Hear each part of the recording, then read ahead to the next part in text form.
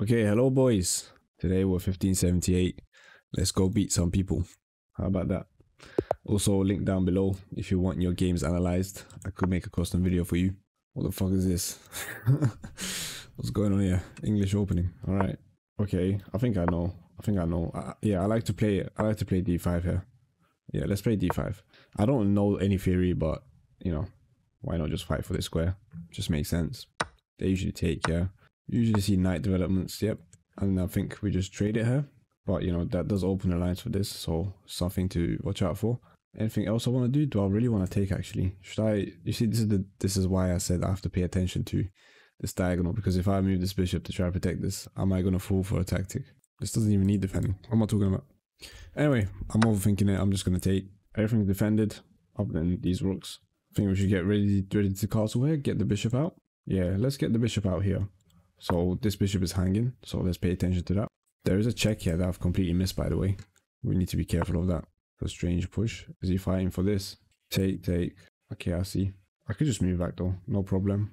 No problem. No problemo. Yeah, let's castle. I do want to get the knight out, but I'm not sure if I'm happy with this take. Actually, now I think he's going to castle kingside. So if he does take, where where else is he going to castle? I'm fine with him taking this. I don't care if my pawns are doubled. I get open file. And he doesn't have a last square bishop for protection anymore. If he takes, this is going to be a bad move. Just thinking about it. Alright, pushes the pawn forward. For what purpose? I'm slightly confused. He could have castled. Wait, why did he push the pawn? I guess maybe he wants to prevent ideas of like me doubling up here. But then he's just never going to be able to castle then if he wants to hold on to that. I think I could just move up here. Let's just be careful though. Again, no blunders. There's one hanging piece. Actually two. But after this move, there'll be there'll be only one. Yeah, I'm happy with this. Is he going to go for a, a kingside attack? I am intrigued. I don't really understand that move, but let's see what he's got. Obviously, we're looking to maximize the mobility of our pieces. One piece I'm not exactly happy with is this bishop, really. This knight, I mean, it's kind of... I don't even know what you call this position, open or closed.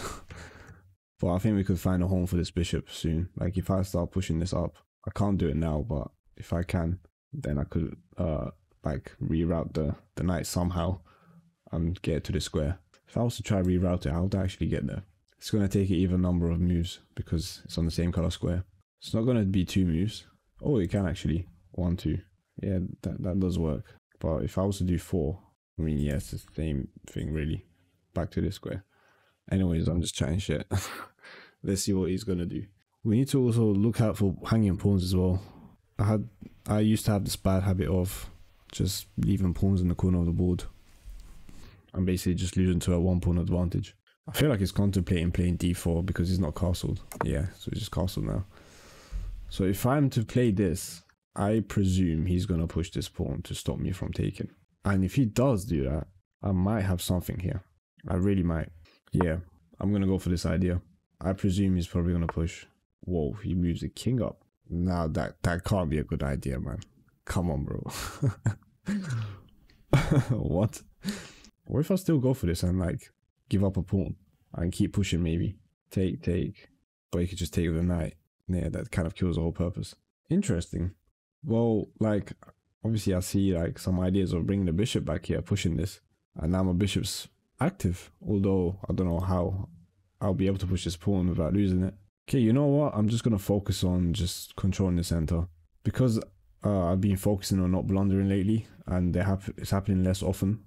The blunders part. I think I'm gonna start thinking about being a bit more positional. I think I think we could play f5 here. Yeah, I think we could do that.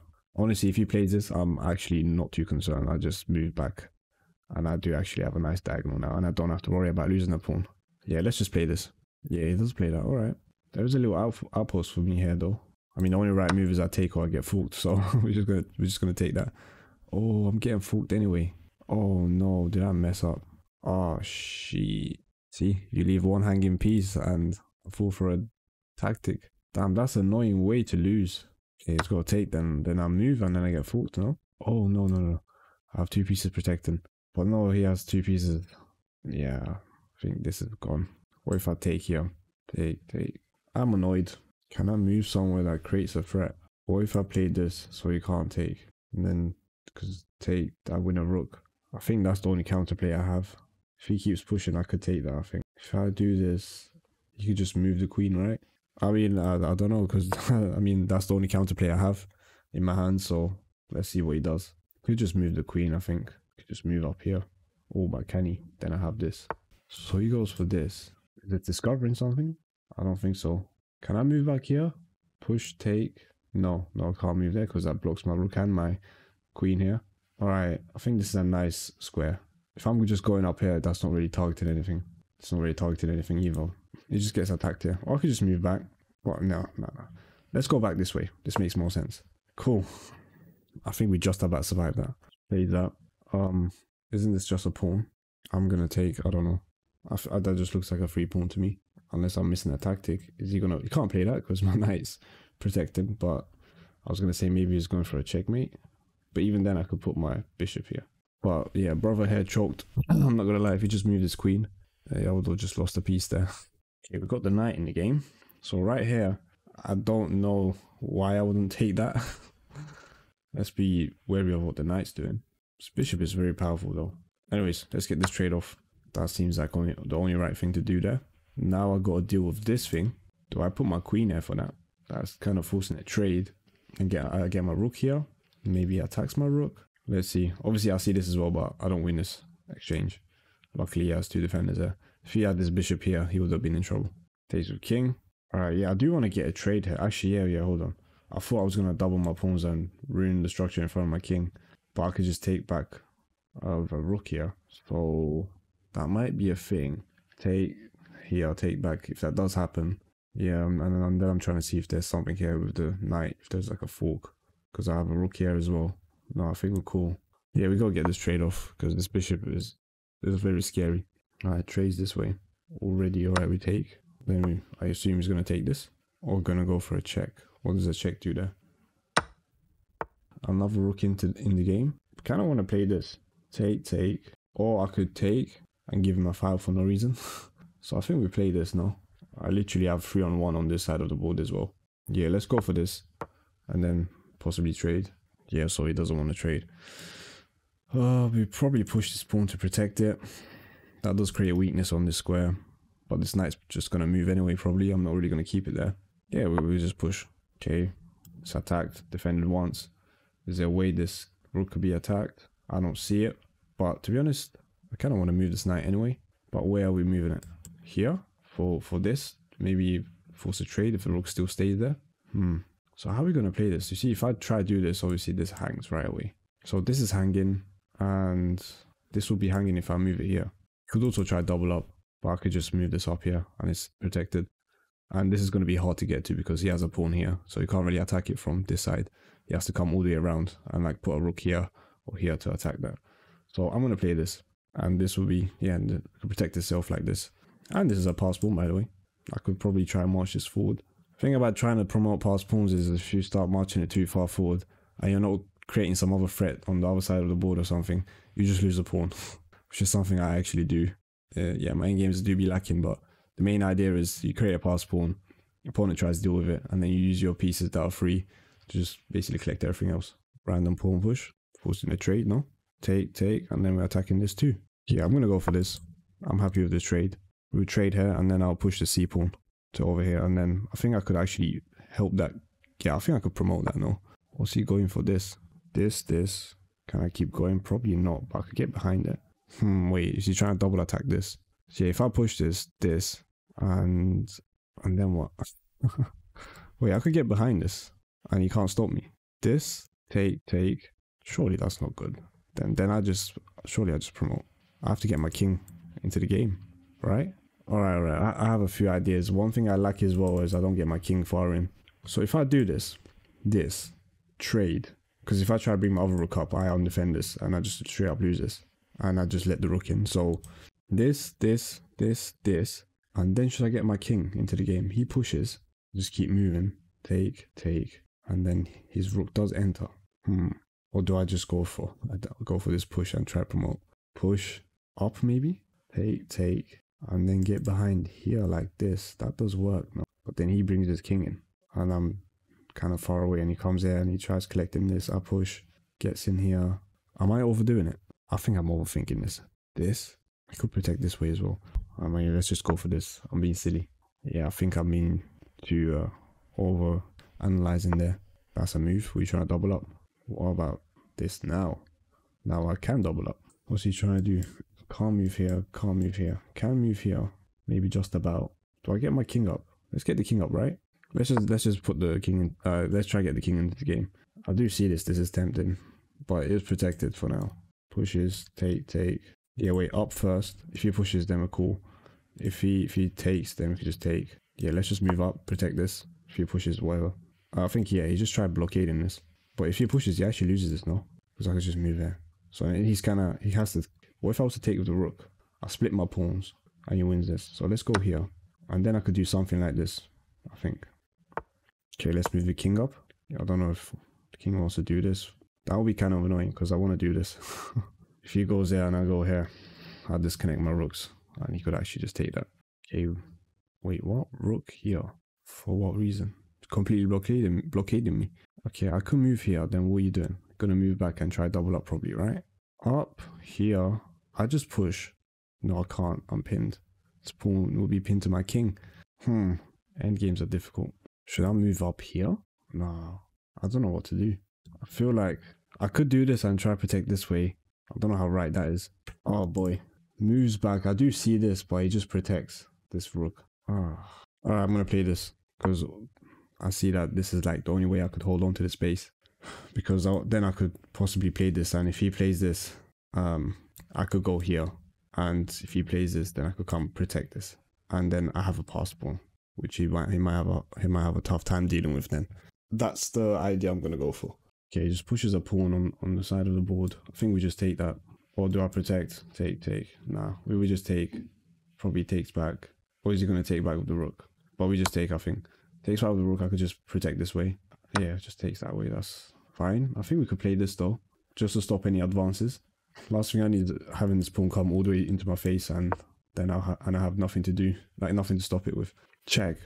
I could play this. Which kind of still sticks to my idea. And then check here if trades i'm fine. I'm not. Sorry. This check oh you can't you can't play that. You can't play that. This is pinned. Oh no. Oh silly me. End games are going to be the end of me bro.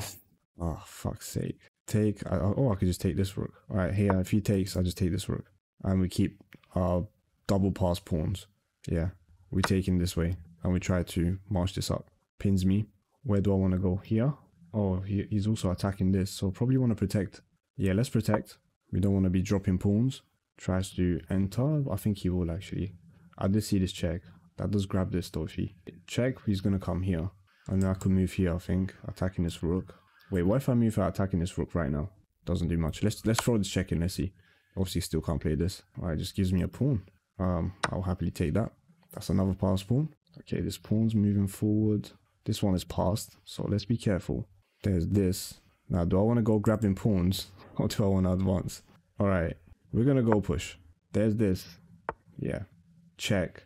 Take. Up. Take. Up. No, he can stop me. We can move here though, no? All right. Yeah, let's move here. He's going to try probably advance this. So we take. No, we just advance. Why are we taking? Because if I take, I let uh, king in here. Or is he going to consider doing this? Then I'll just take that. I could still lose this, you know? He's got a path here. I got kind of a path here. Man, I haven't had a good end game in ages though. This this is gonna be a nice lesson for me. Oh, does he win that race? Shit. Because he comes with a check. If, if he promotes on his square. Let's say plays this. I try take. Push. Oh wait, I could advance this. Push. This. This. I promote. He does, still promotes with check. Hmm. Pushes like that. I might have to get ready for a sacrifice. I think we just push this uh, pass pawn. I'm going to pu push this pass pawn. He's going to push this. I'm going to get behind it. No, wait, we keep pushing. He pushes, and then I get behind it. He takes. He can't, he can't take, because then I'll just take this. So let's keep pushing.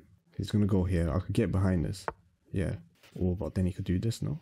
Check, take, push, push, push. Again, promotive check. What if I keep pushing, pushes, and then I play this? Blocks. Oh, shit. Okay, I might have an idea here. I haven't just vocalized it, but I think I might have a crazy idea. That, but I push. hear me out, hear me out. If takes, promote, pushes, or no way. Push, take, promote, yeah. And then what's he gonna do? if he tries advancing this, there's a check here, and then I collect it. And then what? Is he gonna come down here? I could sack a queen as well. This is highly risky. Take, promote, push. He's not gonna push. How could he stop me from doing something here? He's gonna come back, and. I'm pushing, bro. Hey man, he just takes. I promote. If he's not careful, oh, he's not careful. he's not careful. Not careful at all. yeah, yeah. Thanks. That's it, man. It's over. I'm gonna have like three queens now. Really didn't see that one coming out. Uh, can we just sack here actually? Yeah, he's not reaching that, bro. No chance. And then we just push this. Resigns. No blunders apparently. Wow. I am happy with that game. That took a lot of concentration though. 8 with 84% accuracy. Okay, no, apparently I did make a blunder. Alright. That game was just pure endgame, honestly. For a game that was like that long and involved involved so much of an endgame, I'm happy with just blundering once. Alright, I have a 37% win rate with this opener apparently. Maybe something to look into. Okay, F5 was an inaccuracy. I was being clever here. What's the best move? Oh, I didn't even consider that. Whoa. What the fuck? Yeah, that locks his position up crazy. Yeah, I should have. I didn't even consider that. Wow. Taking was a mistake. Yeah, I did not see this fork idea. Oh, he just wants to double up right away. Yeah, I, I didn't. I didn't see it. I only saw it after I took it. Anyway, it takes. I tried to save myself. Yeah, I mean, this looks like it's gonna go to an end game anyway. Uh, and this is a mistake. What? And that's what ended up happening. Does it want me to trade? Yeah, because I'm up a pawn. I'm assuming, and it does look like an end game setup. So probably wants me to simplify and take the game to the end game. Take. Whoa, damn! He really wants to trade everything off. Sacrifice, bro. What's the engine on? no, no human's gonna play that shit. Why would you play that? Anyways, what I was gonna say is here I would have played this, which engine isn't really liking because they could just avoid the trade, yeah, and hit my rook. Anyways, this was a scenario. Little mistake here. Opponent trades for me anyway, and then yeah, now we go endgame. This is a mistake. What? Oh, bring the king in. Yep. I'm too slow with the king. I, I, really don't consider what to do with the king. And a lot of the times, the opponent's king is like in the center. If I didn't really have a good setup and like a good uh, material advantage, like one pawn up, I feel like I would have probably lost the endgame again because I don't centralize my king. Also, this knight stops the king from actually getting in the game. So maybe should have got my king in the game and only trade after I've centralized my king. Take mistake. What was it? This? Wow, it was actually that. I spent so long considering that move. This, I said this, this. Hmm, I guess simplified down, right? Because I am up a pawn. I have a pass pawn here, and then I could get my king in. I'll march it forward. Opponent moved here, up. I'll, I'll probably analyze this properly because this is like the only endgame I had in ages where I could actually think. So this was a good move. Here I spent very long. What was the best move? No, not for you, bro. For me. Just move there. Hmm. I felt like I overthought that for so long. But I was worried about this then this. If he played this, what was I gonna do? Yeah, what am I gonna do if he if he plays this move? These oh man, come on bro. I could protect this way. Ah, if he does this, I just go here. Yeah. Take. Yep. Got checked there. It's a it's a blunder. I yeah, I blundered there. Don't know why. I didn't see he can do this check because this is pinned after I move up. I don't know, engine's taking forever, but the best move is this. I assume to come up here and attack this rook. And try to keep the rook off in front of this pawn so I could start marching it. Yeah, that was a good move. Miss. What was he meant to do? What was he meant to do here? Oh, yeah. Take, take, and then take. Yeah. That's what he was meant to do. Let's see the engine. Yeah. B6. Unlucky, man. This is why you don't blitz out moves in, in an endgame. So I protect this pawn. Few inaccuracies there. Yeah, you just gave up a pawn there. I'm just marching. This, this, this. Are you going to give me a brilliant move? Come on. Best move. Come on, man. You got to give me a brilliant there. Come on, man. Take, promote, and he just messes this up completely. He doesn't even try to protect the pawn. But the thing is, I had a check here, and I feel like I could actually somehow, somehow get a trade-off. Like, what, what could he have done here instead of this pawn push? E3, yeah, protecting. Then what do I do? H4. And he's coming here for what? Oh, preventing this check. So he comes here. H3 check. Oh, it was, it was actually going to be a very difficult endgame. Wow, it was going to be a very tricky endgame. I could have ended up losing that. The the lines it's suggesting is basically just check the king around until like you force it away from the pawn. And I find that those um games to be one one of the most difficult to play, where you have to find accurate checks with the queen and like force the rook away from the king, and then eventually pick up the pawn and then promote your pawn. That's basically the idea here. I could have lost that if you just paid if you just paid attention for a bit, but you didn't. Check, check, and sack the sack the queen and just promote. All right, thanks for watching. Subscribe, and I'll see you here tomorrow.